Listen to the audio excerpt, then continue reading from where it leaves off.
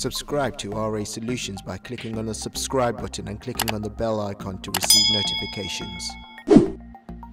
Hello there, welcome to another video about RA Solutions. In this video what we're going to do is look at how to add dummy text or placeholder text in Microsoft Word. So you've got an occasion where you have to show a sample document to your friends or your colleagues but you haven't got any text to add.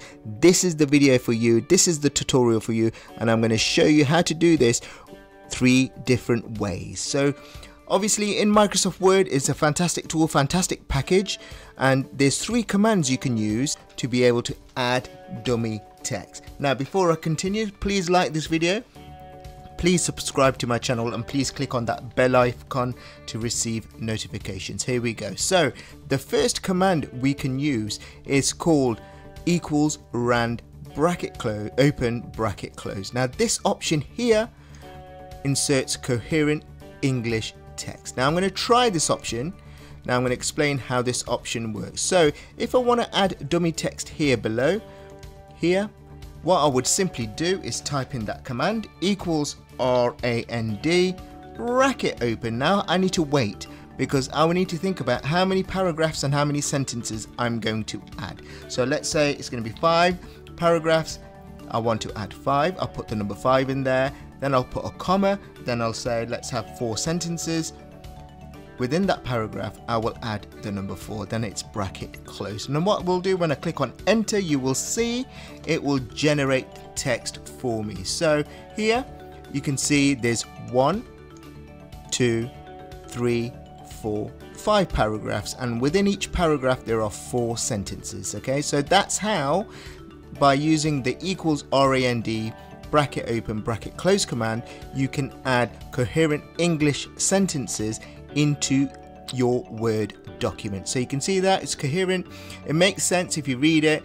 However, that's how you add um, dummy text in, in, in Microsoft Word. Let me delete that. Say for example, if you wanted to change the number of paragraphs and sentences with the rand command, you will simply type in equals rand bracket open increase the number of paragraphs and increase the number of sentences within the paragraph. So let's say I want to add 10 paragraphs, I'll add the number 10, comma, and let's say I want to add more sentences within each um, paragraph. Let's say I'll add 10 sentences, bracket close, enter, and you can see it generated more paragraphs, but in those paragraphs you can see there are um, a lot more sentences in there. So there's in each paragraph there are 10 sentences in there.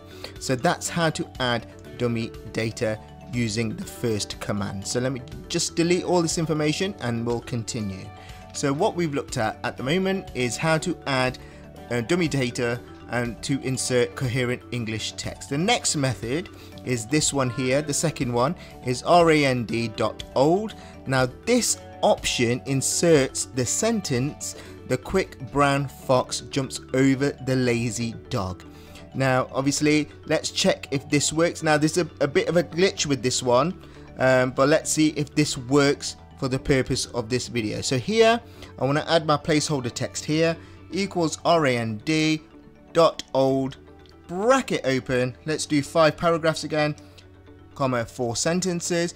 Hopefully this should work it should add the sentence, the quick brown fox jumps over the lazy dog.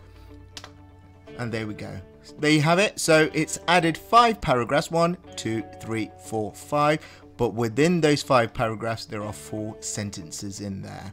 So that's the second command done, rand.old. Now the third one, if I delete this, is this one here. All L-O-R-E-M, lorem uh, bracket open, bracket closed. Now this is Latin, it will add.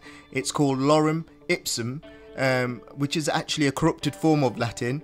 Uh, so it will add this in your place as your placeholder text. Now this is most commonly used by publishing industry uh, for design purposes, formatting and layout purposes. So this is another method I'm going to show. This is the third command. Equals L-O-R-E-M, bracket open, number of paragraphs, comma, number of sentences, bracket closed, enter. And there we have it. There you go.